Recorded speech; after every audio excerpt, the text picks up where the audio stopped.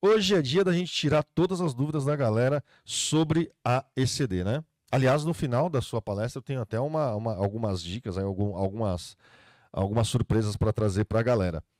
Vamos falar de ECD? Vamos falar de ECD. Vamos falar ali os detalhes que os caras têm que ficar atento ali para não, não cometer erro, para não entregar, para não cair na malha fiscal, né? Sim, tem umas coisinhas importantes. A importância de tudo isso daí? Exatamente. O palco é tudo seu. Muito Fica obrigado. à vontade. Ali tem um retorno. Pessoal, no final, 30 minutos de perguntas e respostas. Então, anota para você não se perder e depois o professor responde. Perfeito, Maurício. Fechado, Bispo? Fechado. Muito obrigado, um prazer Obrigado, receber meu, você pra- aqui, viu? Prazer é nosso. Vamos lá. A todos vocês que estão conosco aqui, meu bom dia. Para quem for assistir em outra oportunidade, boa tarde, boa noite.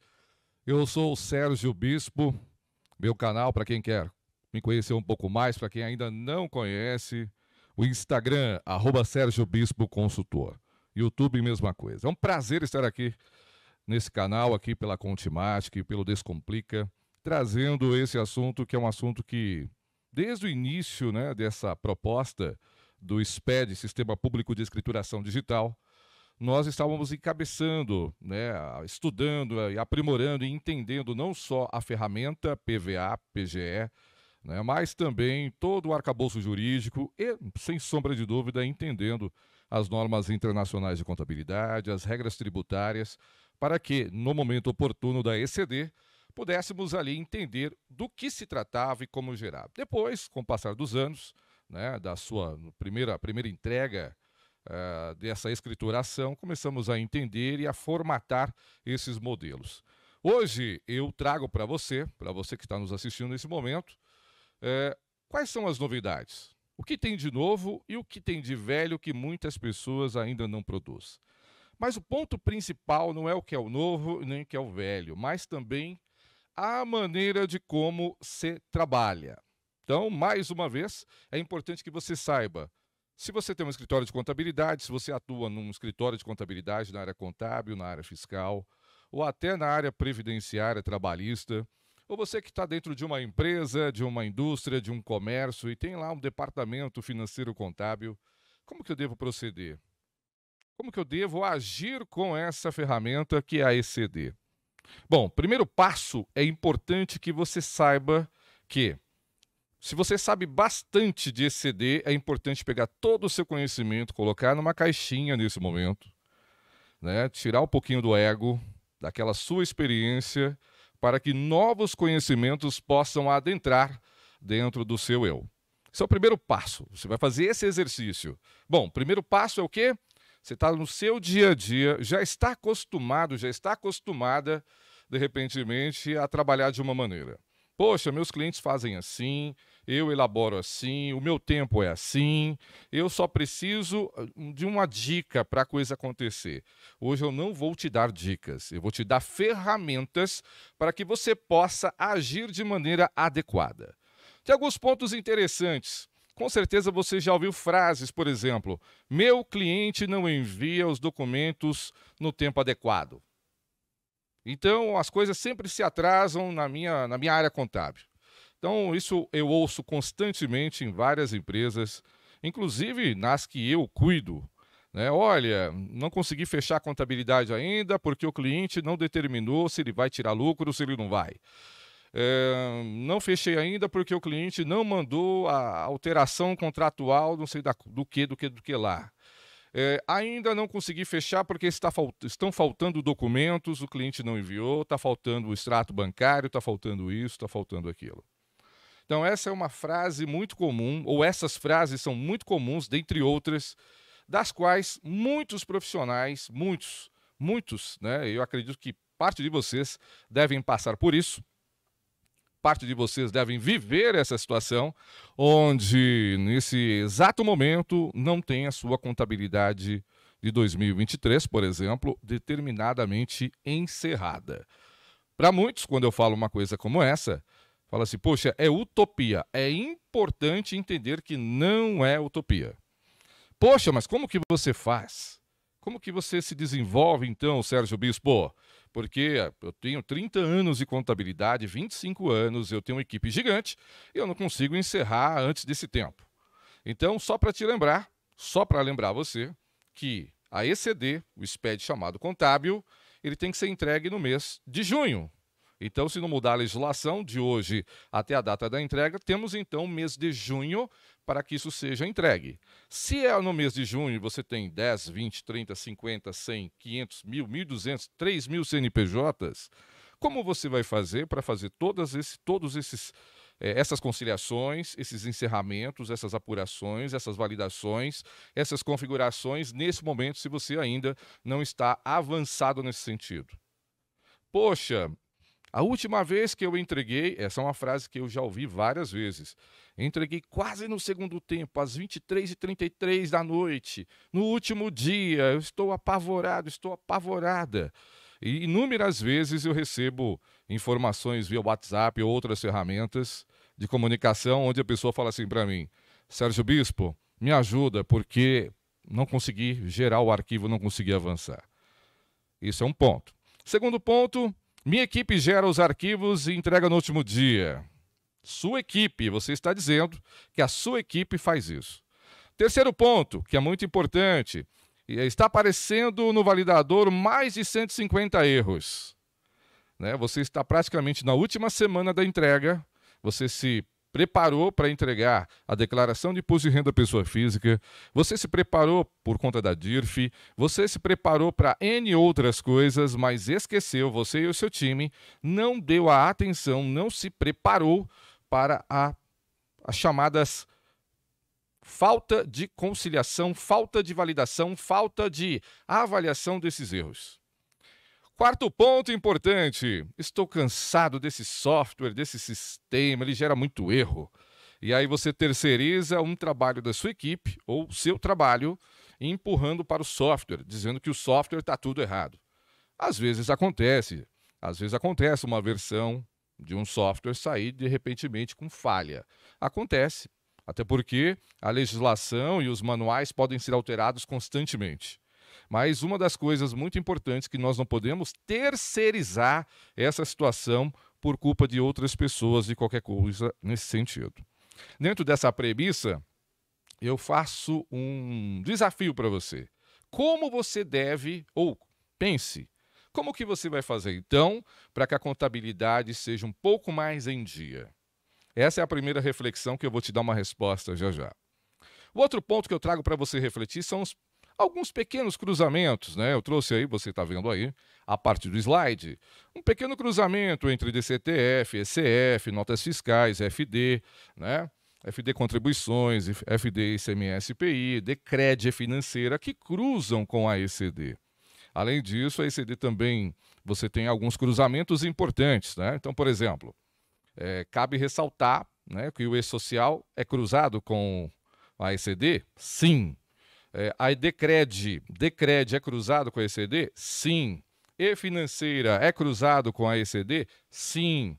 ECF, não preciso nem dizer, para quem já está no dia a dia, sabe que a ECF é praticamente a prima ali, fica ali ao lado de uma ECD. Lembrando bem né, que a ECD ela não é uma obrigação acessória, né? A ECD ela está qualificada como principal. As demais são acessórias. Por exemplo, a ECF é uma acessória, por exemplo, né? O E-Social é uma outra acessória. É importante, porque existem muitos erros. Olha, eu vou entregar uma obrigação acessória ECD. ECD não é obrigação acessória, é importante dizer. Lembro claramente que está lá no Código Civil. Código Civil. A legislação contábil está dentro do Código Civil. Se você pegar, por exemplo, artigos é, de 1170 para frente, você vai encontrar muita coisa de contabilidade lá diz, dizendo bem claro sobre as questões do livro diário, o livro razão, o que, que você tem que ter dentro do livro diário. Então, esses cruzamentos são importantes para que você tenha essa ciência. E a outra ciência importante é que a ECD, ela é sim principal. Ela você tem que cuidar com muito carinho, principalmente para você que assina, para você que é contador. Né? Existem multas? Poxa, eu vou falar delas hoje, mas existem.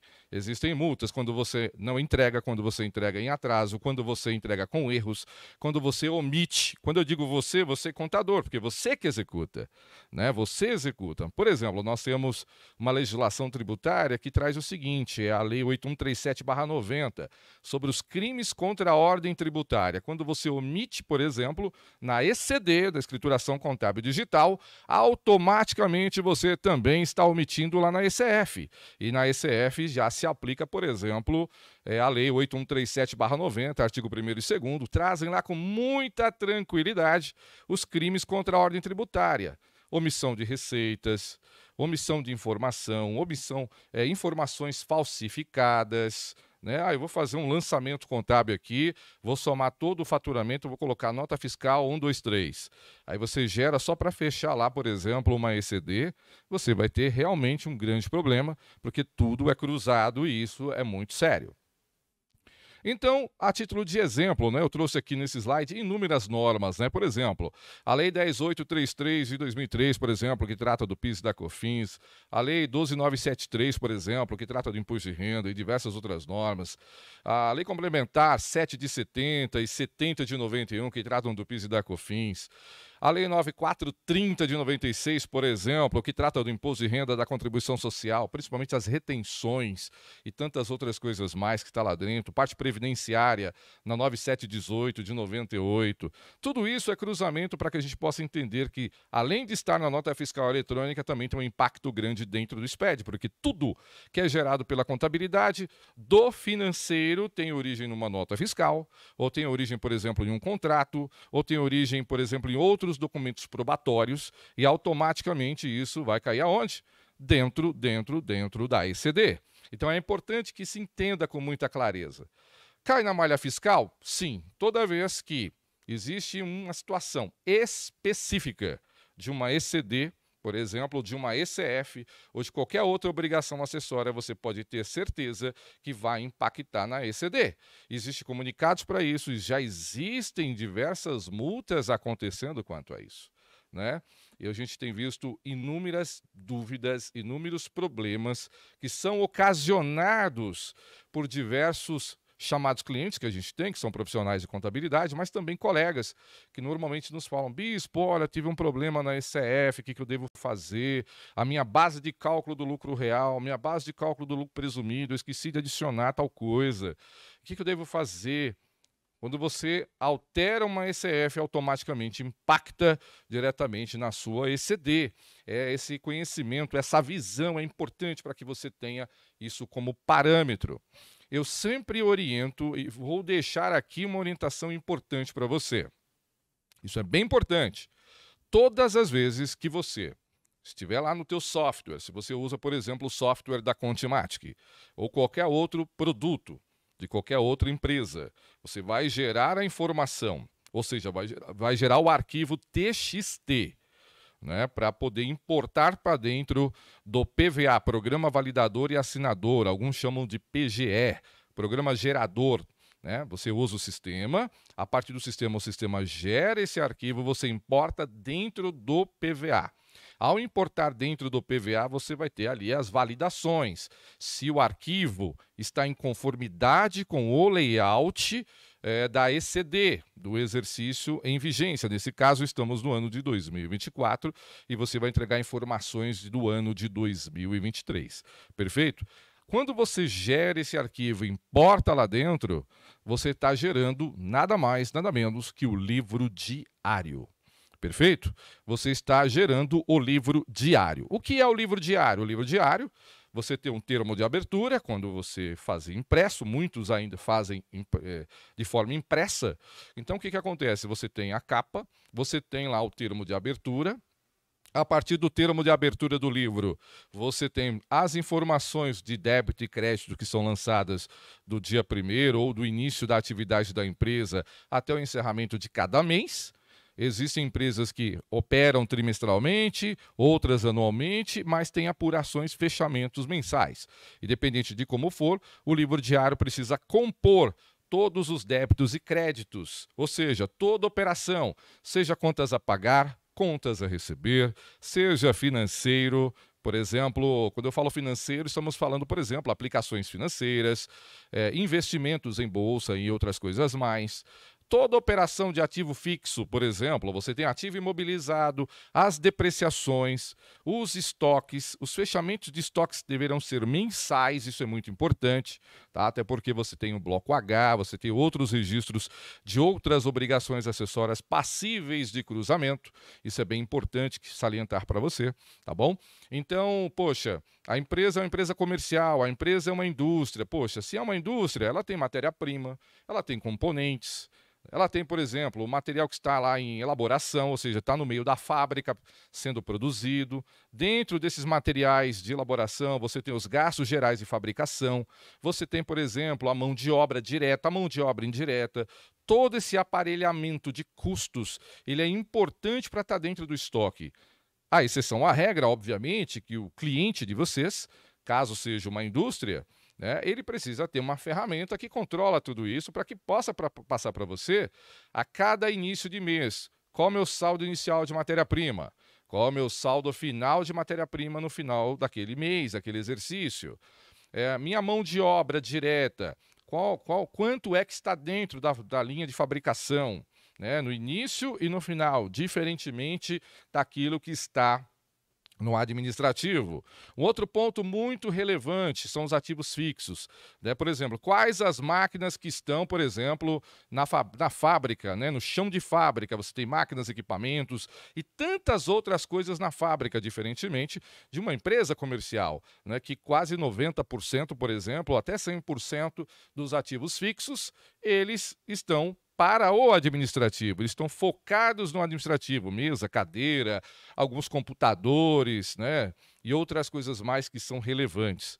Então, guardadas as proporções, é importante que você tenha ali, no caso da indústria e no caso de empresas comerciais, o saldo inicial e saldo final ali do estoque. Outro ponto importante, o ativo fixo. É importante que se saiba, poxa, quanto eu tenho de ativo, ativo fixo? O que, que eu tenho aqui de máquinas, equipamentos, computadores, veículos? Esses veículos são usados pela empresa? Não são usados pela empresa? São usados pelo sócio? Né? Ele tem esse poder, esse direito? Tem ata para isso? Tem alguma conformidade que você possa contribuir para isso, a empresa comprou terrenos, mas a atividade da empresa não é uma atividade de compra e venda de itens dessa natureza. Como que você vai atuar com isso? Como que você vai classificar isso no teu ativo? Né? Por exemplo, ativos intangíveis. Né? Poxa, eu tenho uma marca, eu tenho uma patente, eu tenho um por exemplo, de repente é o seu caso, você tem, por exemplo, uma licença de uso de software. Como que você vai tratar? Tudo isso que eu estou dizendo aqui, já existe norma brasileira de contabilidade para que você possa tratar de maneira clara. Então, por exemplo, é o CPC 00, a NBC TG, né? É, geral que nós chamamos, que trata, por exemplo, das tratativas claras da contabilidade, qual princípio que você usa, né? a essência sobre a forma, como classificar, está tudo lá dentro. Além disso, você tem outros CPCs ou NBCs-TGs que tratam de maneira clara, por exemplo, sobre estoques, que é o 16, o ativo imobilizado, que é o 27, as propriedades para investimento, que é o 28, perfeito? Ou se a sua empresa é menor, tem lá, por exemplo, a ITG 2000, a 1001, a 1000, a 1002 e outras mais, conforme as suas validações e conforme a sua natureza. Tudo isso é importante para quê? Para que, que isso tudo é importante? É importante que, para elaborar o livro diário, mesmo em papel, era necessário e é necessário, era e é necessário você atender às normas brasileiras de contabilidade. Exemplos: caixa e equivalentes. Às vezes tem empresas que eu já tive experiência assim de pegá-la. A pessoa tem uma conta bancária que há sete meses não tem movimentação. E a pessoa fala que o extrato bancário se mantém do mesmo jeito. E aí, quando solicita, é, dá para perceber claramente que é uma falha. Existe isso? Existe. Caixa de uma empresa. Você pega lá janeiro, fevereiro, março, abril, maio, junho, julho, 100 reais, 100 reais, 100 reais, 100 reais, 100 reais, 100 reais. Você entra lá na conta caixa, não tem movimentação nenhuma. Quem deixa 100 reais parado em alguma coisa? Você deixaria 100 reais no seu bolso, sem usar, sem fazer nada, por oito meses? Só se você esquecer. Só se você largou e esqueceu. Então não existe. Sim ou não? Então são pontos importantes que você tem para que você tenha clareza, né? Um terceiro ponto importante: contas a receber. Ah, meu contas a receber é feito pelo meu cliente. E aí você recebe as notas fiscais, você recebe informações bancárias e fica ali tentando bater ali, né, o seu contas a receber, dando um jeito de bater o número. Quem tem que enviar para você a informação do contas a receber é o seu cliente. Ele tem que apontar para você o saldo inicial e o saldo final. O que aconteceu? Eu sempre oriento, sempre oriento, isso há muitos anos já, há muitos anos, né, que quem tem contabilidade terceirizada, por exemplo, se você é um escritório contábil e o cliente, o seu cliente, terceirizou essa área, o que, que ele tem que fazer? Te enviar saldo de caixa, ou seja, a operação de caixa, todas as operações com bancos, inclusive os extratos bancários, de forma ordenada. A terceira coisa, contas a pagar e contas a receber saldo inicial, saldo final, quem eu paguei e quem eu estou a receber, no caso aí, né, do contas a receber. Isso é fundamental, quem eu recebi e quem eu devo receber. No contas a pagar, quem eu paguei, obviamente, e, obviamente, aquilo que eu estou em dívida, em débito com alguém, no caso aí, é, olhando pelo, pela ótica do financeiro. É importante, ele precisa enviar, ah, mas o meu cliente não faz isso, meu cliente não sei o quê. Existe uma coisa importante, tá? E aqui vou deixar algumas saídas. Você está ouvindo várias coisas aqui, você fala, tudo isso é para o SPED? Sim, tudo isso é a ECD. Estamos preparando você para quando chegar no dia você já esteja com todo esse cadastro correto, com todas essas informações corretas. Então, primeiro ponto que eu recomendo você: crie uma força-tarefa, crie um padrão de contabilidade, crie um processo mensal. Eu sempre digo que se você pegar e criar um padrão, por exemplo, pô, todo dia 25 ou 27 vai ter que encerrar a folha de pagamento. O que é encerrar uma folha de pagamento? De repente você faz uma, um trabalho contábil para uma indústria, para um comércio que tem grande volume. Legal, bacana, show de bola. Mas não dá para a pessoa mandar para você todas as informações no dia 3 do mês seguinte. Por exemplo, estamos em abril, já imagina? É, abril, maio. Em maio, a pessoa te manda dia 3 todas as informações trabalhistas para você fechar uma folha de pagamento. E aí, como que vai chegar na sua contabilidade? Um mês depois. 40 dias depois, porque não dá tempo. Então, é necessário ter como padrão, bom, dia 1 a 27 no primeiro mês, depois 27 a 27, 27 a 27. Isso é data de corte, nós chamamos isso de cutoff. Tem que ter data de corte no apontamento e no fechamento da folha. Para facilitar, o cliente entrega para você no máximo dia 27 e 28. Eu acho que, dependendo do volume, ainda é muito, mas muito em cima, tá? Mas eu, eu sempre recomendo o dia 25, tá bom? Mas 26, 27, dependendo do volume do negócio da sua empresa, talvez possa alcançar. Um outro exemplo são as situações com notas fiscais. Dependendo do volume, você não pode pedir para o cliente falar, ó, não, não fature mais. Pare aí, ó, eu tenho que fechar aqui o fiscal. Tem empresas que, se você fizer uma coisa dessa, ele não vai gostar.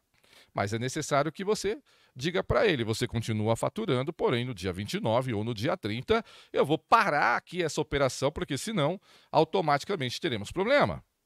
E aí, o que, que é para a operação? Fazer o fechamento lá do, do fiscal mesmo, da apuração do ICMS e do IPI dentro da legislação de cada estado. Por exemplo, São Paulo tem regra, Rio de Janeiro tem regra, Minas Gerais tem regra. Então, tem regras específicas para apuração. Nós entendemos. Pará tem regras específicas, né? mas é necessário. Né? De repente, você tem um crédito tributário, como é que você vai fazer? Né? Então é importante você ter datas de corte, datas de corte por operação. Folha de pagamento, data de corte, escrita fiscal, data de corte. Por exemplo, contas a receber. A pessoa fica lá fechando contas a receber 15 dias. Então, do dia 1 ao dia 15, ele fecha e manda para você. Não tem como você entregar um balancete, por exemplo, no dia 10, para quem quer que seja. Ou que seja um relatório, por exemplo, com gráficos ou qualquer coisa é, em termos de consultoria contábil para alguém. Você não vai conseguir. E por quê? Porque não existe um padrão contábil. Então é necessário ter padrões. Eu disse da folha de pagamento, eu disse da escrita fiscal, eu disse também, por exemplo, do contas a receber. Por exemplo, inúmeras empresas que eu fui nesses últimos 20 anos, inúmeras. Eu pergunto para a pessoa ali do contabilista: esse saldo de fornecedor que você está vendo aqui, esse saldo aqui, ele está correto? Ele, não sei. Eu peguei das notas, eu peguei de algum lugar. E quando eu pergunto se está certo, eu quero saber se o cliente confirmou. Se o cliente confirmou que ele deve aquilo mesmo. Pô, mas se eu fizer isso para todos os clientes, eu não fecho contabilidade. Ao contrário, o cliente tem que confirmar para você fechar. Se ele está dizendo que deve 500, então não pode ser 700 e nem pode ser 300. Então ele precisa confirmar esse saldo. Por que, que eu estou dizendo tudo isso? Porque tudo isso vai para dentro do livro diário. E o livro diário é a ECD. Isso é importante. Então, como que você vai fechar uma contabilidade se você não sabe quantas a pagar da pessoa? Um outro ponto importante é que, quando chega momentos específicos dentro de uma empresa, como esse que eu estou dizendo, de encerramento, por exemplo, de apuração, né? apuração da folha, apuração é, fiscal, apuração do ativo fixo, apuração do estoque, apuração do contas a pagar, apuração do contas a receber, apuração da distribuição de lucro, né? Olha, cliente, olha, você vai receber lucro de acordo com a lei tal, de acordo com a norma tal, lucros isentos, mas se você tirar acima, você vai ter que ter uma tributação, não sei o que, etc. Todo esse, todo esse arcabouço é necessário ter um processo. E esse processo tem que ser colocado dentro do teu time. Se você não põe isso dentro do seu time, no dia a dia, acompanhar até que isso vire uma cultura, isso não vai acontecer. Para isso acontecer também, você precisa combinar com seus clientes. Como assim combinar com os seus clientes? O próximo passo é, cliente, a partir de agora você vai receber notificações do dia 25 até o dia 30 que a gente vai te cobrar. Vou te cobrar, eu quero essas informações. Existem clientes que são necessários que você vá até ele. É verdade, eu mesmo fui dessas pessoas que fui até o cliente, sentei com o cliente, verifiquei como era o processo do cliente, como que ele atua, como ele vende, como ele compra, como ele administra os estoques, se ele está acostumado, se já está acostumado a encerrar, por exemplo, os estoques no final do mês, ou no dia 27 ou no dia 28. Se ele está, por exemplo, acostumado a fazer o fechamento do contas a receber, fechamento do contas a pagar, se ele estrutura um fluxo de caixa, se ele não estrutura, como que ele faz, como que é o processo financeiro dele. Ele compra, paga, compra, pega empréstimo, se alavanca. Tudo isso é necessário que você, profissional de contabilidade, não importa se você é trainee, se você é assistente, se você é analista, se você é o dono do escritório, é importante que você entenda esse processo e alinhe tudo isso com esse cliente. Então você vai orientar esse cliente. Olha, cliente, você precisa enviar para mim uma informação assim, assim, assado, neste formato aqui. Não só solicitar por e-mail. Tem que ir até o cliente mostrar, eu quero dessa forma. Eu quero o meu estoque dessa forma. Eu preciso da informação dessa forma. Eu preciso de tal informação, por exemplo, da distribuição de lucro nesse formato. E assim sucessivamente, para que você possa estruturar é, a sua contabilidade. E a outra orientação que nós passamos: chegou um cliente novo. Você não conhece nada dele. Então, o ponto principal para que você não tenha problemas com ECD, com ECF, você não tenha problemas de trabalho, de relacionamento muitas vezes com o cliente, é que você vá até o cliente e ofereça para ele um trabalho mesmo, um serviço extra além de elaborar a contabilidade, né? Onde nesse trabalho você vai fazer o quê? Bom, você vai fazer um levantamento de tudo que está acontecendo. Né? Olha, você tem trabalhado assim, a sua atividade, independente da contabilidade com quem ele fez. Porque muitos de nós contabilistas, nós ficamos dentro do apoio de quê? Pô, o outro contador tem que me mandar o balancete. O outro contador, a contadora lá precisa me mandar o saldo. Sem esses saldos eu não consigo continuar. Ao contrário, você consegue, mas antes de você conseguir isso, é necessário que você vá até o cliente, conheça a atividade, a operação do cliente, para você entender como funciona. Ele faz encerramento mensal do contas a receber, do contas a pagar, ele aponta o caixa, ele faz alguma coisa com a aplicação financeira, ele está tirando o dinheiro da empresa e gerando confusão de patrimônio. O que, que ele está fazendo, por exemplo, com ativo imobilizado? Ele pegou dois notebooks e deu para a filha dele brincar lá na casa dele, você não está nem sabendo, não vai nem saber. Tudo isso que eu estou dizendo é fundamental para você estruturar a sua contabilidade. O outro ponto é só sobre as questões de resultado. Né? Tem muitos, muitos empresários que eles vendem, vendem, vendem e não sabem o que é uma margem de contribuição. Então você só está preocupado em gerar ECD e ICF, mas sem margem ele quebra. Sem margem, sem estruturação de fluxo, ele quebra. Então você pode oferecer para ele, a partir desse, desse, desse levantamento que eu estou falando para você, antes de trazer ele para a tua base, né, esse tipo de orientação de consultoria. Ah, mas meus clientes são pequenininhos, são médios. Não importa. Quem é pequeno, um dia vira grande. E quem é médio vira grande. Não existe essa coisa de pequeno nem médio. A contabilidade ela é única, o que muda são alguns padrões para A ou para B ou para C. Isso é fundamental. E aqui eu trago para você três passos para você colocar a casa em dia. Isso tudo para exceder, perfeito? Porque eu poderia falar aqui do registro XYZ, poderia falar do J, poderia falar do, do zero, não sei o que lá, mas é importante, antes de falar de tudo isso, é você entender que tudo começa muito antes da entrega. E não é o software que é o seu problema, não é muitas vezes é, a, a, geração do arquivo, o PVA, o problema, está lá na ponta, lá no início. Contabilidade atrasada. Um, alguém de vocês tem aí contabilidade atrasada? Né? Se tiver, manda um sim aí, ó. Sim, sim, sim, sim, sim. Manda um foguinho aí, ó. Pegando fogo, vai ter que ter dedos de foguinhos para colocar essa contabilidade em dia, né? Eu estive num escritório esses dias de contabilidade, quatro anos de contabilidade atrasada, ele perguntou: dá para entregar o SPED? Aí eu falei: dá. dá, você arrumar um batalhão de pessoas ou muitos softwares e talvez aí muitos problemas também. Então, acontece? Acontece. Né? A pessoa não tinha contabilidade, procurou a ele, quatro anos atrasada.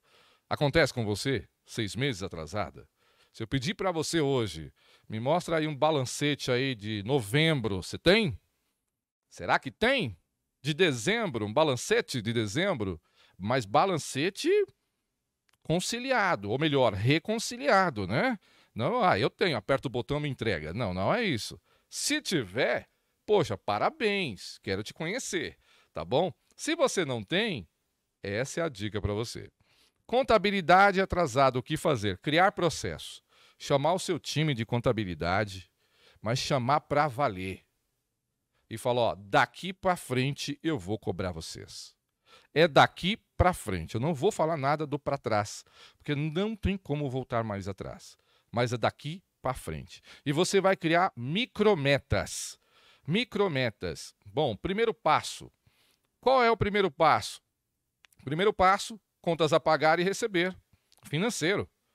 Então, criar uma atmosfera para que o seu time esteja preparado para isso. Segundo passo importante, segundo passo importante, estoques, caso tenha estoques. Terceiro passo, criar um processo lá na, no departamento trabalhista, departamento pessoal. Combina com a equipe do departamento pessoal as datas que você precisa para fazer a integração, para fazer a adoção desses dados da folha de pagamento. Até porque a informação da folha vai estar dentro do e-social e, estando dentro do e-social, impacta diretamente em cruzamentos com a ECD. Então, contabilidade atrasada, você precisa tomar cuidado. Então, primeiro passo, eu já te disse, é necessário criar mecanismo, micrometas, ó, do dia 1 ao dia 3 você vai fazer isso, do dia 4 ao 6 você vai fazer isso, do dia 6 ao 9 você vai fazer aquilo. Nossa, mas bispo, é muita coisa nesse dia. Você vai criar uma força-tarefa. Força-tarefa. Isso, se você estudar teoria geral da administração na época das guerras eram feitas forças-tarefas há milhões de anos atrás para atacar certos locais. Você tem um, normalmente você tem profissionais que é da folha de pagamento, que é da escrita fiscal, que está fazendo contabilidade. Então você vai pegar esse pessoal para fazer certas rotinas no contábil. Se a sua empresa é pequena, essas pessoas precisam se envolver lá no contábil. É obrigatório para que se faça isso acontecer.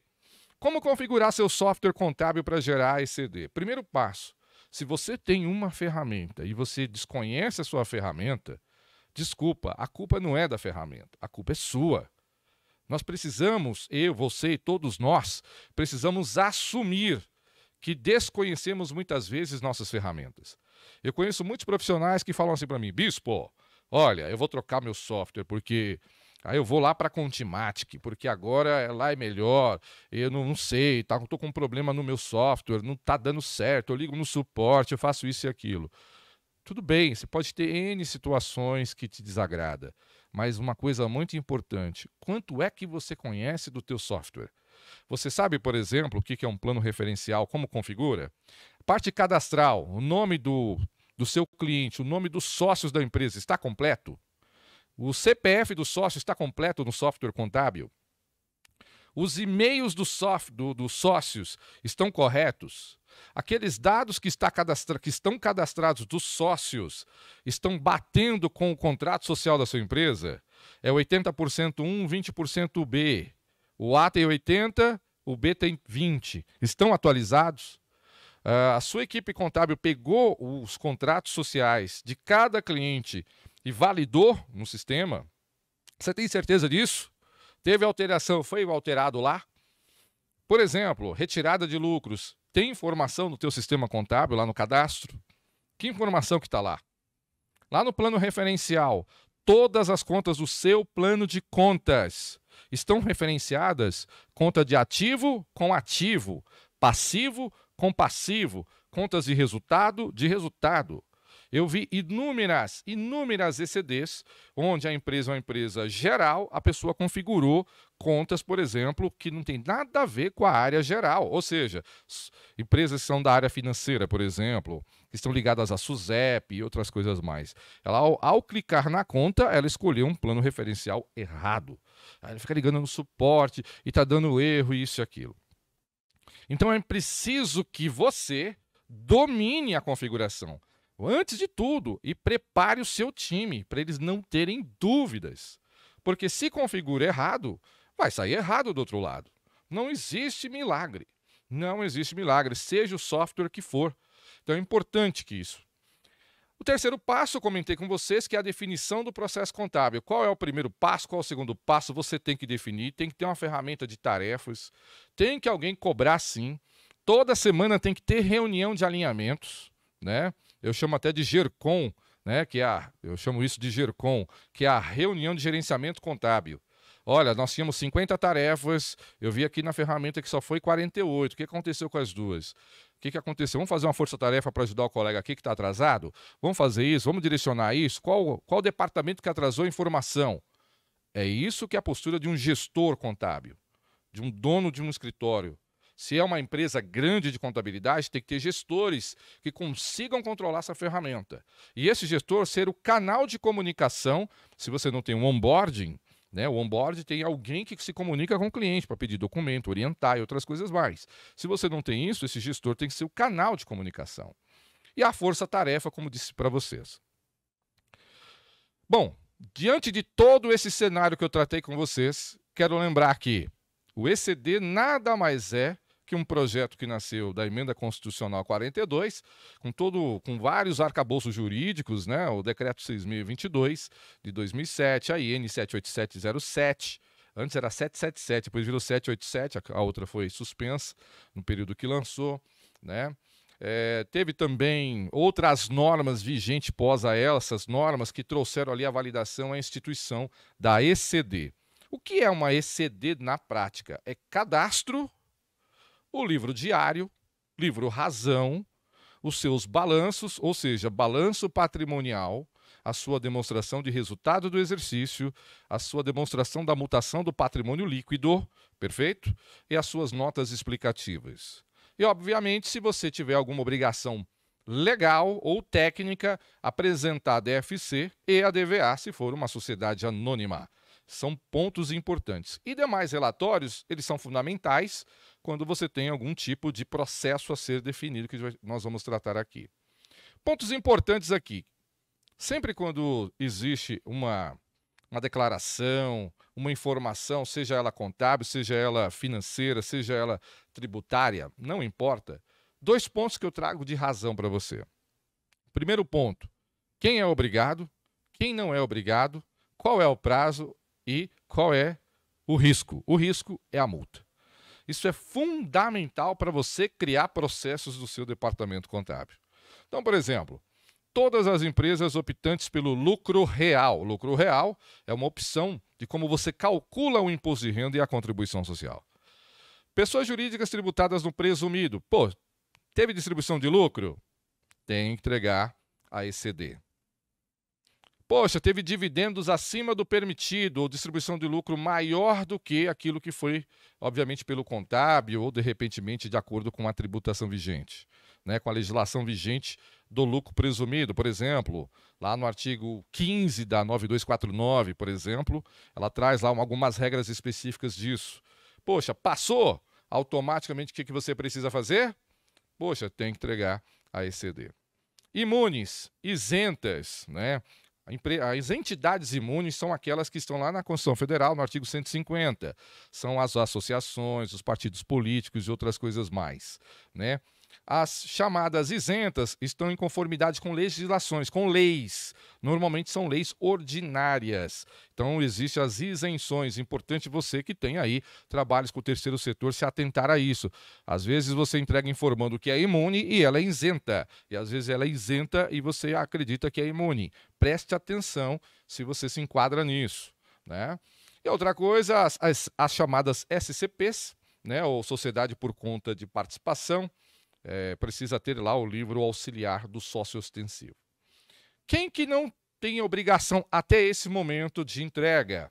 Empresas optantes pelo Simples Nacional, desde que não participe, por exemplo, de leilões ou, por exemplo, situações públicas.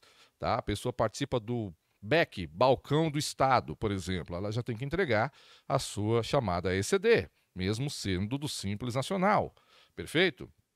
Às vezes o seu cliente fala assim: Poxa, eu quero participar de um leilão, eu quero participar do BEC, eu quero participar, por exemplo, eu quero comprar do governo estadual, federal, municipal, quero participar disso. Esse, esse profissional, essa empresa, melhor dizendo, tem que entregar esse ECD independente da opção tributária. Empresas optantes pelo presumido, desde que adote o livro caixa, tem que fazer a contabilidade, tem que fazer a contabilidade, mas também ter o livro caixa. E isso não vi ninguém fazer tá bom? Na prática, sendo bem sincero, ter contabilidade e fazer o livro caixa ao mesmo tempo, raro, tá bom? Muito raro. Então, se fizer o livro caixa e entregar lá dentro do ECF o livro caixa, parabéns, é isso aí. Órgãos públicos, autarquias, fundações e outras coisas mais e pessoas inativas. É importante falar dessa inatividade. Empresa não tem movimentação, não tem nada, mas todo mês cai uma taxa bancária lá na conta. O cara deposita 50 reais, 100 reais, depois passa no Uber. Essa empresa está inativa? Sinceramente, não está. Então é importante ter essa visão, porque isso impacta lá no Decred, na e-financeira e com certeza essa empresa está aí à disposição do fisco. Outro ponto importante, né? Em 2024, a mesma coisa aconteceu no exercício 22-23. A entrega até o presente momento vai ser em junho. Inclusive, isso já está até na norma, né, na instrução, tá bom? É importante. Então, nós temos aqui pouco mais aí de alguns dias. Nós... Então, se você não tem uma contabilidade ainda em dia e outras coisas mais, com certeza você vai ter dificuldades de executar. Uh, para você que é especialista contábil, para você que é o especialista, você que é o analista sênior, para você que, que quer se aprofundar, que, que você pode fazer para entender mais sobre os registros, sobre os arquivos, sobre o layout? Você vai entrar no manual de orientação do layout 9 da ECD. Esse é o link que está aí disponível para você. Se você pegar esse link e colocar lá na régua lá do Google, por exemplo, automaticamente você vai ter acesso a esse manual. Ou entra, por exemplo, no Google, coloca lá, por exemplo, ECD 2024 RFB, Receita Federal do Brasil. Basta você colocar assim, ó, ECD mais o sinalzinho de mais RFB. Vai abrir esse mesmo link.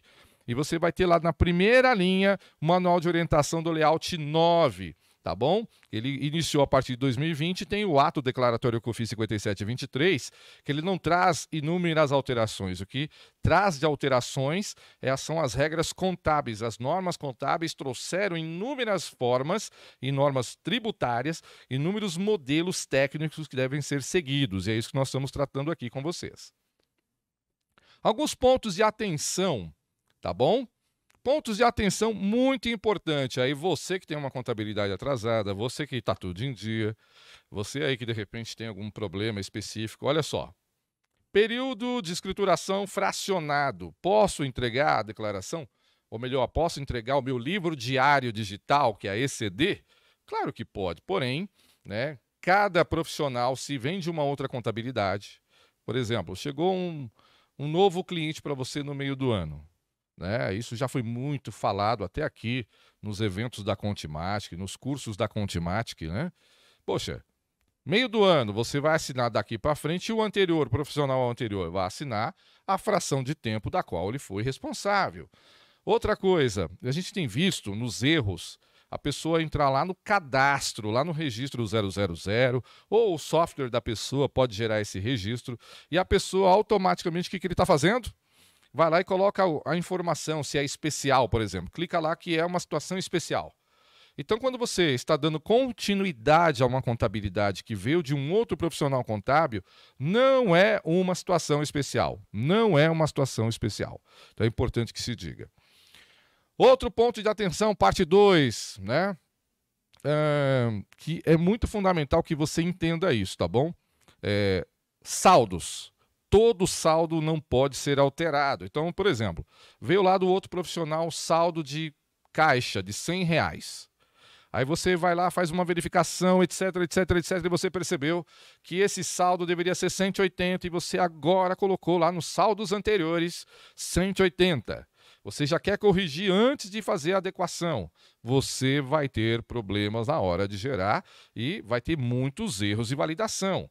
Então você trouxe a informação com 100 reais de caixa, você informa no teu software no Contimático ou qualquer outro, 100 reais, e dali para frente, quando você adota toda a informação do outro profissional, você pode fazer em lançamentos contábeis os ajustes necessários baseados na NBC TG número 23, ajustes de omissões e erros, tá bom? É importante que você entenda com muita clareza esse ponto.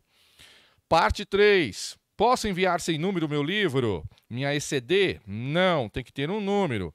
Pode ser igual ao anterior? Recomendo que não. Ah, posso ser qualquer número? Pode. Tem profissionais que usam 1, 2, 3, 4, 5. Eu já fui em lugares que começou com 9, tinha 18, tinha 19, porque o que importa é o hash code. Né? É um código chamado hash. É ele que determina quem é e qual é a sua o seu livro digital. Outra coisa importante, natureza das contas. Olha, isso tem acontecido com muita frequência, muito, muito, muito erro mesmo. Né? Uma conta de ativo foi classificada no referencial como, por exemplo, uma conta de resultado. Ou então uma conta de patrimônio líquido, a pessoa coloca, por exemplo, que é uma conta de passivo. É, por exemplo, a pessoa coloca, por exemplo, uma conta de ajustes e ah, vai ser conta de ativo lá no ajuste. É, ah, tem uma conta transitória aqui, eu quero que ela seja conta não sei do que. Esse é um outro problema sério que traz erros na ECD, erros muito sérios, impacta numa ECF. Isso não pode acontecer, tá bom? Natureza da conta. Então, primeira coisa, verifica, essa conta é do ativo no teu plano de contas? É. E lá no plano referencial, é também do ativo? É. Então, valida corretamente. Teu plano de contas é geral, ou seja, sua atividade é um comércio comum, é uma indústria, é uma prestadora de serviço, então o seu referencial também tem que ser. Tá bom? Se você adotar um referencial. Isso é importante, porque senão você vai colocar coisas, por exemplo, uma conta de ativo está no passivo, uma conta de não sei do que está não sei aonde. Isso não pode acontecer.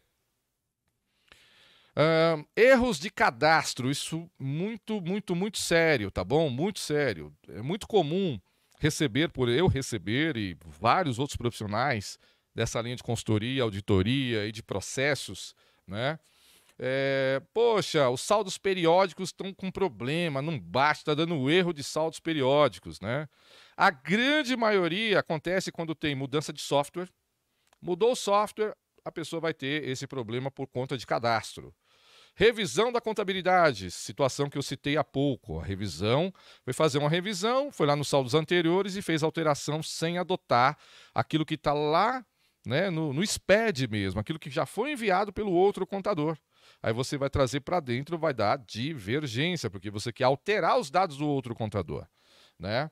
É, mudança de plano de contas também é um outro problemão, porque de repente a pessoa tem um plano de contas X, aí, aí nesse veio para o teu escritório e você tem o seu plano de contas. Aí você tem que fazer um alinhamento. E existe uma forma de fazer esse alinhamento dentro do software. Olha, aquela conta lá dele é essa conta aqui, aquela outra conta dele é essa daqui.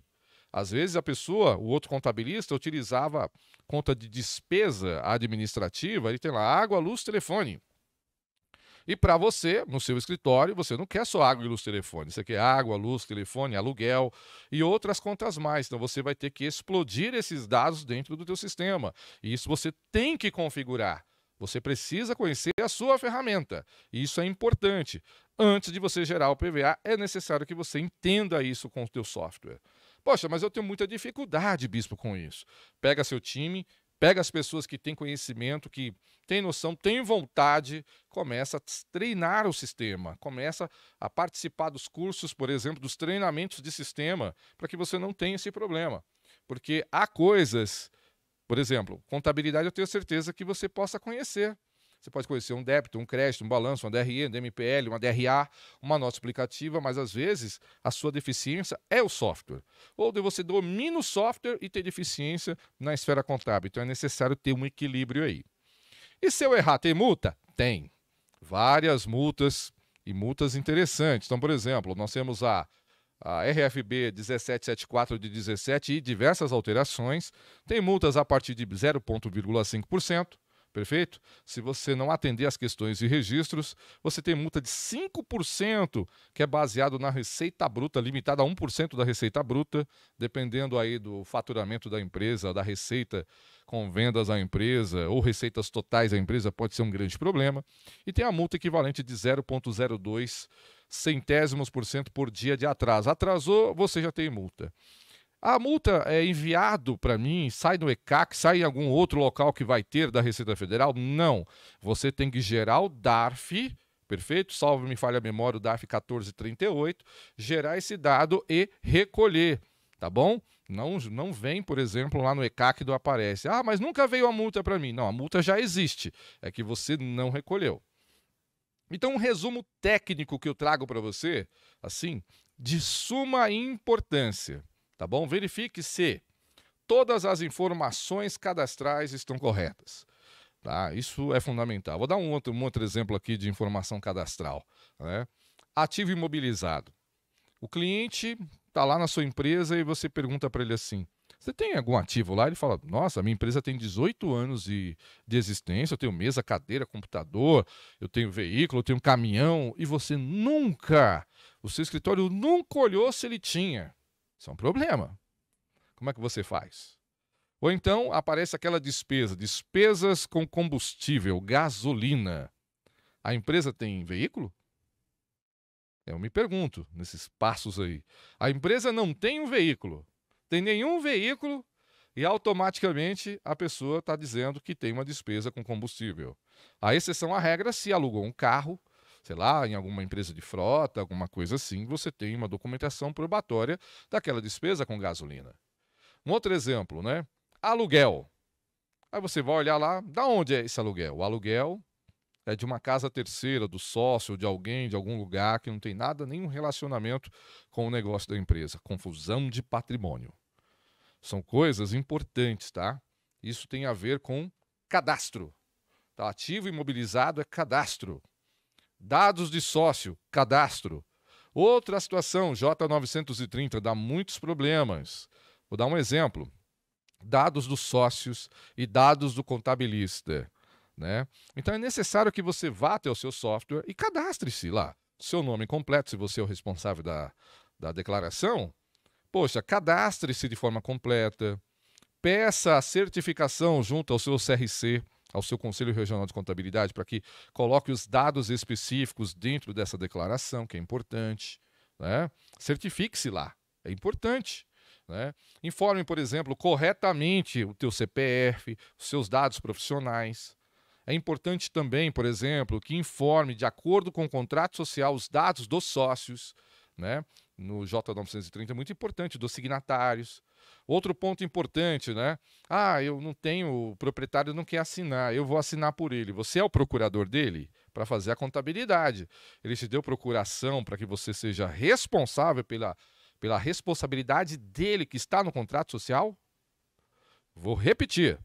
Você é responsável da empresa como contabilista.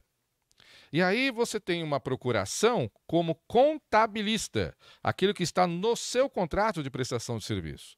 E de repentemente, você diz assim: Bom, eu vou assinar por ele porque ele não pôde vir, eu vou fazer isso e aquilo. Você pode assinar por ele? Você tem as prerrogativas que está no contrato social? Você tem? Você não tem. E se você não tem, você não pode fazer isso nem na ECD, nem na ECF. Tá bom? Isso é importante, perfeito? Analise o plano de contas. Já falei aqui algumas vezes sobre esse ponto, tá? Plano de contas é sempre um grande vilão na hora da validação. Conferência de saldos. Eu vou tratar um pouco desse assunto aqui, ó, encerramento de contas de resultado. Olha só, existem inúmeros profissionais que, ao desconhecer o software, ele vai lá e faz o encerramento manual. O que é o encerramento contábil manual? Ele abre uma conta lá no plano de contas, ARE, apuração do resultado do exercício.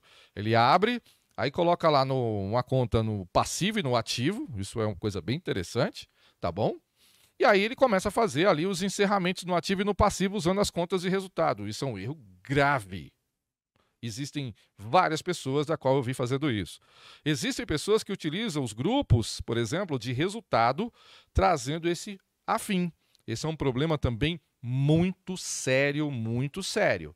Então não se encerra em uma empresa a partir de lançamentos contábeis. Os softwares têm ferramentas onde você configura as contas de encerramento para poder fazer ali o encerramento. Outro ponto importante: distribuição de lucro. Né? Mensalmente, é necessário que você crie um processo para você saber o quanto de lucro o seu cliente já tirou, o que há de tirar perfeito? Para que chegue no final de cada exercício você já tenha um apontamento disso. Existem empresas que, na hora de entregar a DIRF, no dia 25 de janeiro, saem todo mundo correndo. Quanto é que vai ser lá para o dono da empresa? Como é que vai ser? Como vai ser nada. Né? Como que vai ser? Nada. Eu, esse ano mesmo, de 2024, eu vi inúmeras empresas enviando a DIRF, colocando zero no campo lá da DIRF, de distribuição de lucro para depois retificar. E aí? A culpa é de quem? Tá bom? Isso é importante. Isso acontece com você? Sim ou não? Você já viu o que eu estou dizendo? Essa é a prática real, né? Outro ponto, resultado do exercício. Tem como dar lucro aí, não? Você já viu isso, não? Tem como dar um jeito, tira essa despesa, põe para cá, põe para lá, tem que ter um resultado, porque senão eu vou ter problema, eu participo.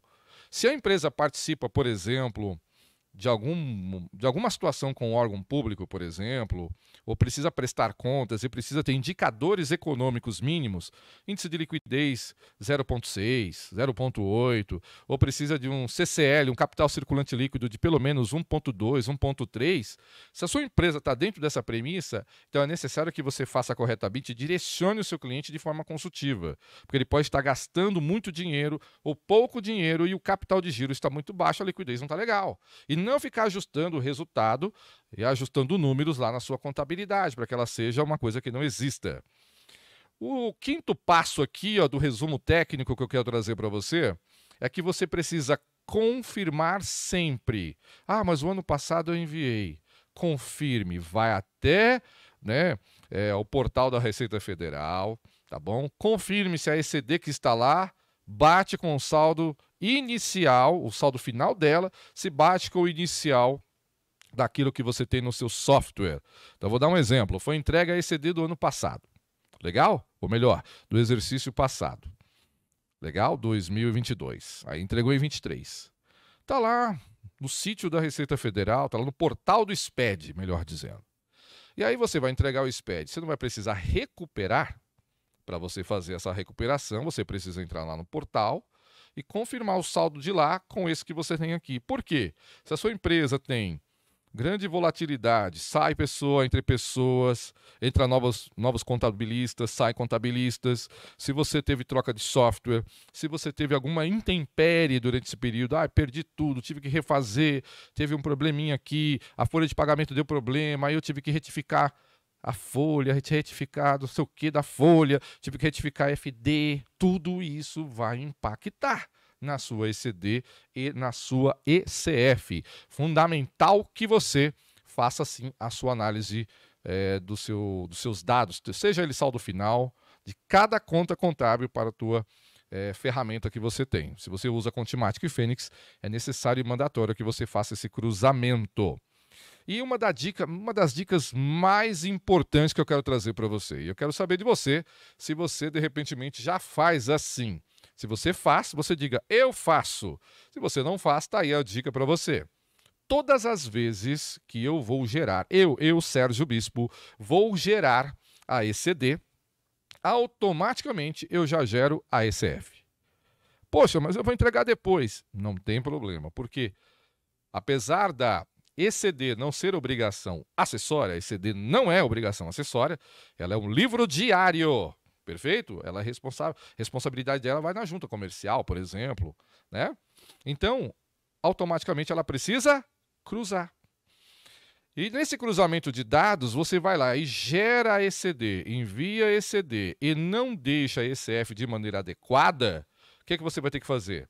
Retificar ECF, se você tiver enviado de forma equivocada, dando um jeitinho em ajuste, ou você vai ter que substituir a ECD, até porque a ECD, que é o livro diário, não existe retificação. Você vai ter que substituir, reabrir, refazer aquela coisa toda, fazer bater, etc. Fica aquele sofrimento.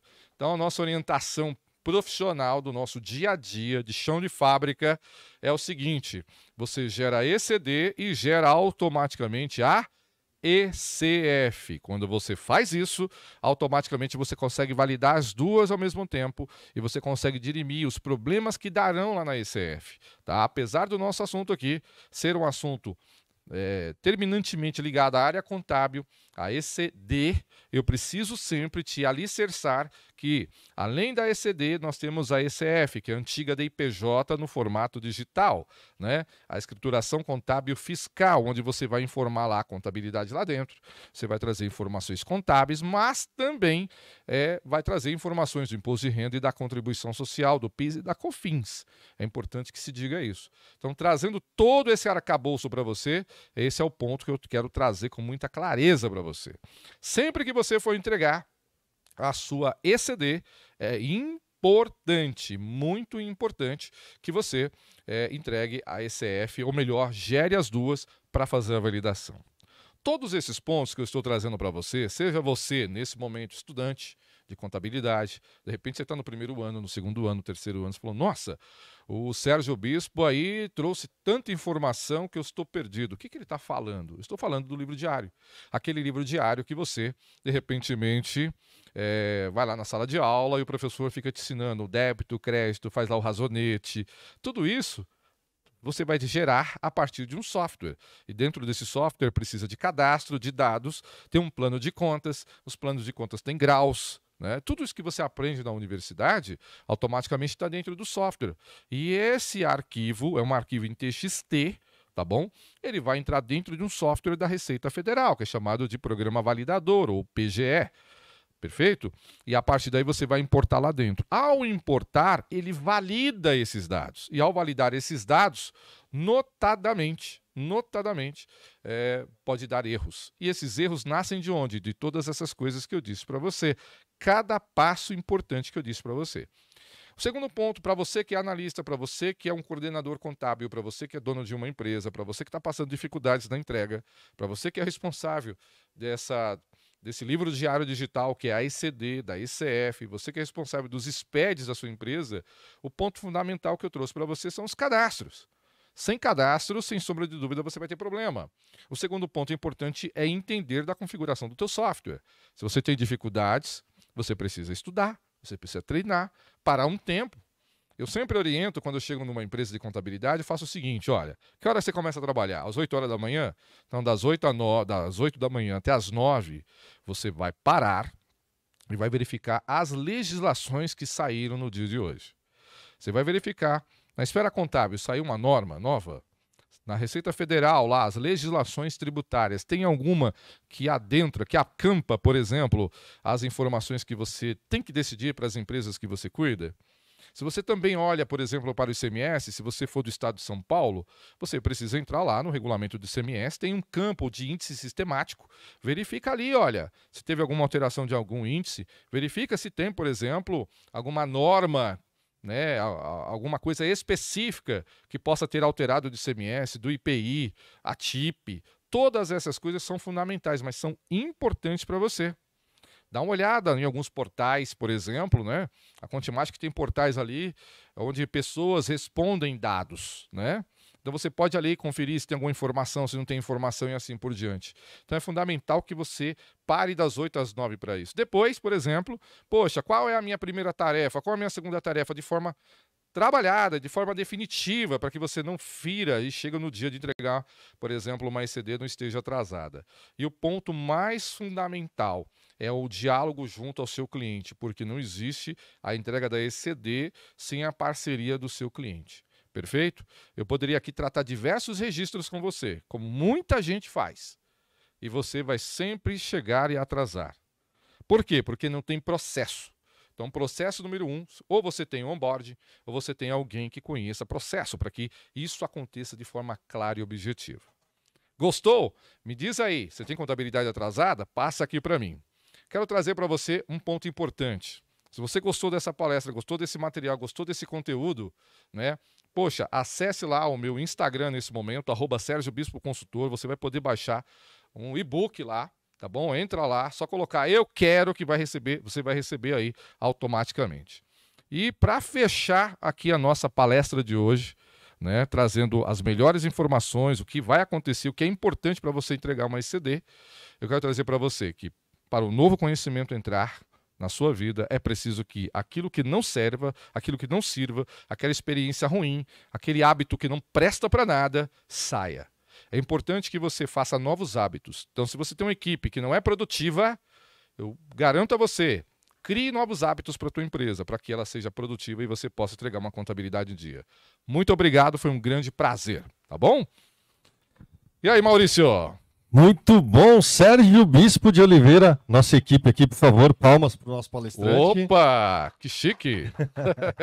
Hoje o nosso evento está sendo 100% online, online. nós temos a equipe aqui toda acompanhando com a gente, tá? É... Bispo, muito Sim. obrigado, viu, cara? Você Obrigado é... eu. Sensacional, já acompanha o SPED Contábil desde o começo lá, desde 2017, Isso mesmo, é verdade, 2008, né? verdade. E agora nós vamos abrir o chat para perguntas do pessoal, né? Você que está acompanhando com a gente, você pode mandar sua pergunta agora no chat. Nós teremos aí mais ou menos uns 25 minutos para poder responder as perguntas da galera, tá? Sobre, sobre escrituração contábil digital. Lembrando, pessoal, que você acabou de falar, inclusive, Sim. sobre alguns sobre os registros e tal. Exato. Hoje, às 15 horas, no canal do autoatendimento da Contimatic, nós teremos um, um workshop. Esse workshop vai ser prático. Para tirar as dúvidas da pessoa, galera. A pessoa entra no software. Dentro do, do, do software de contabilidade da Contimática. Entendeu? E vai em linha com aquilo que a gente comentou aqui nessa palestra, né? Entendeu? Quem vai ministrar esse, esse workshop vai ser o Adelto, nosso amigo Adelto. Poxa, o Adelto. Isso, o Adelto, que é lá de, de Ribeirão Preto, né?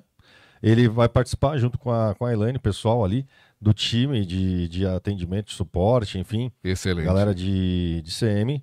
Vai ajudar o pessoal bastante aí na, na, na parte de, de dúvidas práticas dentro do sistema de contabilidade da Contimatic, tá? Então você que Bacana. tem dúvidas sobre a escrituração contábil digital, muita gente colocou ali que foi muito boa a palestra, hein, Bispo? Poxa, eu fico muito honrado, viu, por cada ó, um de vocês. Deixa eu ver Walter aqui, Walter colocou muito obrigado. É, Cláudia muito obrigado. Gomes. Silvio Santos Costa, obrigado, Silvio. Grande Silvio Costa. Cláudia Gomes, muito obrigado. Daniela Avares, muito obrigado, obrigado pelos ensinamentos.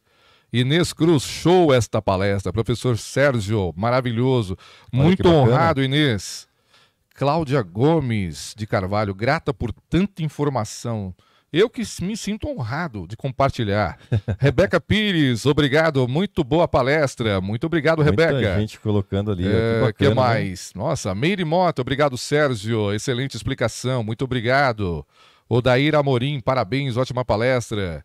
Julie, excelente material, obrigado. Janete Capela, muito obrigado pela apresentação, muito didática. E, e- Nossa, tem muita gente ali. Tem muita, cara, tem muita. E o que que acontece, Bispo? É, é uma galera que vem, né, que acompanha a Contimática há muito tempo. Por é exemplo, a- verdade. A Lourdes Riguete, a Inês, é um pessoal que acompanha já há muito tempo, né? E eu vou, vou reforçar para o pessoal aqui. Quem tiver dúvida, por favor, coloca aqui no chat. A gente vai tirar as dúvidas sobre escrituração contábil digital. É isso Beleza? aí, é isso aí. É, a Cultimatic tem essa cultura de sempre fazer alguns eventos que ajudam o profissional de contabilidade no seu dia a dia, né? Que nós temos o Descomplica, a gente faz uma vez por mês, tá?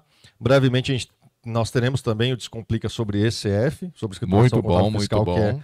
o segundo passo, né? O primeiro Perfeito. passo é a ICD, o segundo passo é a ICF. A gente vai ter também. E, e, obviamente, que a gente traz também alguns eventos sobre soluções, empreendedorismo, estratégias, marketing, vendas, negócios, que é a própria imersão contábil Contimática. Show de bola, show de bola. É importante, né, ter esses, essas, esses diversos arcabouços, né, para que o, próximo, o próprio profissional possa emergir a cada etapa da, da contabilidade. né? Exatamente, cara. Seja ali É no um novo modelo de negócio. Seja no empreendedorismo, seja na parte prática, na parte técnica. É um novo modelo de negócio Sem que a gente sombra tem que ficar sempre bem antenado, tá? Bispo, quer Que passar mais? de novo o seu Instagram pro pessoal? Por favor, Opa! tá? o pessoal coloca ali. Vamos lá. Bom, para quem ainda não me segue, por favor, arroba Sérgio Bispo Consultor. Por gentileza, entre lá, manda lá no Instagram lá que você vai receber o materialzinho que está relacionado a esta palestra de hoje. né? Um adicional. Isso, um adicional. E Arroba- aqueles que. Arroba Sérgio Bispo Consultor. Só adicionar, mandar uma mensagem lá no Isso. direct. Eu quero. Só isso já vai receber automaticamente. Beleza. E deixa Legal. o feedback também da palestra. isso, se você gostou, se não gostou, foi legal, não foi, o que, que acontece, né? de repente são outras perguntas que são fora do contexto desta palestra, de repente lá a gente pode tratar desse assunto para você, tá bom? Ó, a Lígia já colocou o Instagram do Bispo ali no, no chat, hein? Poxa, muito Lígia. obrigado. Tá? Muito obrigado. Só o que clicar mais? ali. Poxa, a palestra foi boa, olha Foi só. boa, cara. Eh, Vamos lá. Carlene Lázaro, muito bom, obrigada. Fabiano Abreu, obrigado. Bruna Couto, adorei particularmente. Você explica muito bem, obrigada. Muito grato, Bruna. Contábil Sistema. Obrigado pela palestra, muito esclarecedora. Ô, Bispo, aí tem a Zamoura, Zamoura. ZCM, que ela colocou ali, eu vou até pedir pro pessoal seguir o mesmo padrão que ela. Ela mandou assim na frente, pergunta, dois pontos. Aí ela colocou a pergunta dela. Todo mundo que tiver pergunta vai fazer agora do mesmo jeito, tá? Coloca a pergunta na frente que a gente Aham. sabe que, que é dúvida. É verdade. É, vamos lá. Uma empresa do Simples mudou para lucro real no decorrer do exercício. Isso se torna uma situação especial ou não? Não, não é uma situação especial. O não que é. é. uma situação especial? Situação especial é quando tem uma extinção, por exemplo, né, uma liquidação societária, por exemplo, Cisão, uma fusão. cisão, uma fusão. Essa situação especial não é este caso aí, tá bom? Isso está lá no manual é, da ECD com muita clareza, tá bom? Lá nos itens 1, 2 e 3, tá bom? Talita Cioto Neves. Ela perguntou: Sérgio, corretora de seguros optante pelo lucro presumido é obrigada a entregar a ICD? Eu entendo que sim, até porque as corretoras de seguro têm distribuição de lucro normalmente igual à contabilidade, nunca é baseada é, no livro no livro caixa, tá bom? Então recomendo que sim, mas eu sei qual é o seu problema, porque eu tenho clientes corretora e é quase impossível você ter toda a documentação em mãos, principalmente quando é plataforma. Então eu me solidarizo com você, tá bom? A gente já dá até uma dica pra galera aqui, né? Na Uhum. verdade, o pessoal pergunta: ah, mas tá obrigado, tá obrigado. Na verdade é o seguinte: entrega pra todo mundo. É, a ECD é para todo mundo, Entrega essa é a pra mundo. verdade, né? 2020 Já estamos em 2025 já. É pra verdade. O grande vilão ali é a distribuição de lucro, tá? Ah, cadê aqui? Ah, Janete, pergunta. Ah, o pessoal seguiu a- o padrão. Pergunta, dois pontos. Não sou da área contábil, escrevo projetos para a OSC, que tem contrato com o fomento direto da prefeitura. Essa OSC tem que entregar a ECD? Se ela for imune isenta, sim, tá bom? Aí depende se é associação, se é fundação, se ela for imune isenta, entendo que sim. Se for um outro formato, precisaria trazer mais clareza para que a gente possa dar uma resposta, uma resposta mais, mais objetiva. Boa. O Tiago Nunes colocou aqui, ó, tive a oportunidade de trabalhar com ele, aprendi muito e hoje não tenho problemas com ECD. Ótima palestra. Poxa, muito obrigado, Thiago. Me sinto muito honrado aí pelas suas palavras. A Inês perguntou ali do material. O pessoal tá colocando no chat, tá? Eu vou pedir para a nossa querida Emily mandar novamente agora, para geral. Eles estão colocando no chat o link para você baixar todos os materiais Exato. que os palestrantes estão é, apresentando aqui hoje. Esse material vai ficar disponível para você. O link a Emily está colocando ali no chat. Ela respondeu a Inês, vou pedir para ela colocar agora de novo para todo mundo, tá bom? E a Thaís Tropiano mandou aqui uma pergunta também no padrão. Ó. Pergunta, dois pontos. Empresa do Simples Nacional que tem a entrega, que, que fazem a entrega da FD Reinf de distribuição de lucros, fica obrigado a entregar a ECD? Não tem relação nenhuma, tá? Tecnicamente, FD Reinf com a ECD. As exceções à regra estão dentro do manual, tá bom? Isso é importante que se diga, tá bom? Então, por exemplo, empresa do Simples Nacional, ela é obrigada a entregar? Depende, como eu disse na palestra de hoje participa de algum órgão público, poxa, eu estou comprando de órgão público, compro do BEC, por exemplo, né, que é a Bolsa do Estado de São Paulo, que a pessoa pode fazer compras. A entidade participa de alguma situação específica, aí ela vai ter que fazer ECD. Agora, se olhar para fins contábeis, todos poderiam entregar, inclusive Simples Nacional. Não tem relação direta, tá bom? Legalmente falando. Muito bom, muito bom. Então não tem nenhuma relação, tá? Thaís, que perguntou sobre isso. A Ana Rodrigues, empresa aberta em 2020. Nesse período não foi entregue nenhuma ECD. Em 2023 está obrigada. Qual o número correto a informar do livro diário? Bom, no caso lá da ECD, a norma, né, o próprio manual da ECD, se você adentrar lá, você vai verificar que o manual não traz a informação que tem que ser números de livros constantes, ou 1, 2, 3, 4, 5. Não existe isso. Se você colocar 3, outro 9, outro 15, tanto faz. Eu, como profissional de contabilidade, o que, que eu faço? Qual o último livro? É o 18? Eu coloco o 19. Mas porque eu sou o cara da época do livro diário do papel. O que vale para o livro diário, ou, ou seja, para exceder atualmente, é o hash, que é o hash code. É ele que valida essas questões de numeração, tá bom? Isso é o mais importante. Ficou claro? Se tiver dúvida, pode mandar mais aqui. Boa, vamos ver se tem mais. Uh, Regina. Pergunta, eu, eu, gostei demais desse negócio, cara, porque vem bastante, Poxa, vem bastante mensagem. Nós estamos aqui de lado porque tem um telão aqui. Viu, e a gente, gente, pega ali e vê, quando tá escrito pergunta no começo ali, dois pontos, a gente já sabe que é dúvida, né? É verdade. A gente sabe que não é, não, não é, não é pedindo material ou outras coisas. Karim, Karim Regina. No caso de troca de contador no meio do ano, cada um entrega do seu período, certo? A ECF que é só uma, é isso mesmo? É isso aí. Exatamente. Perfeito. Tem alguma, alguma consideração em relação a essa troca de contador? Poxa, então, a dica importante é não altere os saldos. O contador anterior tem o saldo X lá, você adentra com os saldos desse profissional para depois, se desejar, corrigir. Às vezes acontece o quê? Ah, esse saldo de estoque que veio do outro contador não existe. Esse saldo de caixa de 10 milhões de reais não existe. Esse saldo de intangível aqui nunca teve intangível, vou alterar. E aí dá o problema. Então, e outro ponto é o plano de contas, né? O plano de contas também é um grande vilão para muita gente. Tem que fazer o I-157. Exatamente. Senão a casa cai, certo? A Emily, que é, é, da área de redes sociais aqui da Contimate, que é a nossa gerente de redes sociais, ela colocou no chat o link para a galera baixar o conteúdo também, tá? Emily, muito obrigado, tá? Então, você que quer baixar o conteúdo que foi apresentado aqui na palestra de ECD, também tem lá a próxima palestra do, do Lorivaldo sobre holding. Tá aí o link para vocês, uh, para vocês poderem baixar, tá? E o pessoal está colocando aqui, parabéns para o Sérgio pela palestra, foi excelente. Muito né? obrigado, muito obrigado. Obviamente que a gente vai deixar as portas abertas aqui para quando você quiser voltar, fica Poxa, à vontade. sinto-me honrado. Seu conteúdo é sempre bacana para ajudar o pessoal que está tá acompanhando com a gente, tá? Falando em pessoal que acompanha a gente, por favor, vem aqui embaixo e dá o curtir aqui no, no é like é aqui embaixo, aqui, por favor, no nosso vídeo, tá bom? Clica aqui embaixo, vamos parar tudo agora Isso e mesmo. descer o dedo no like lá. É né? verdade, a palestra foi boa, ajudei você, vai transformar a sua vida, seu dia a dia. Dá um curtir aí, por favor, né? Foi show, Se né? foi show, se foi maravilha. Muito bom. Bispo, enquanto a Exato. galera vai colocando ali, deixa eu dar um- mais um recado. Manda. Recado, inclusive, muito importante que tem tudo a ver, está relacionado à sua palestra de hoje, tá? Opa, isso é importante. A Contimatic desenvolveu um e-book chamado Guia Completo da ECD 2024 para ajudar Uau. a galera. Excelente. Um guia completo para você, tá? Todas as os descomplicas que nós, nós, nós realizamos aqui na Contimatic sempre vem acompanhado de alguns materiais que podem ajudar, porque nosso objetivo é que você monte ali a sua biblioteca, sua, né? Seja ela digital, mas você tenha todo o material disponível ali para consultar, para poder depois estudar, enfim. Então, além da- do- dos palestrantes de qualidade que nós trazemos, trazemos também ali materiais que são complementares à educação de todos esses profissionais que acompanham com a gente.